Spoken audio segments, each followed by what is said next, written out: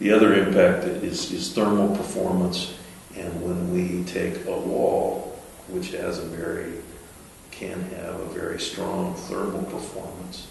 we remove that wall and place it, replace it with glazing, with windows, side lighting, or skylighting, top lighting. Um,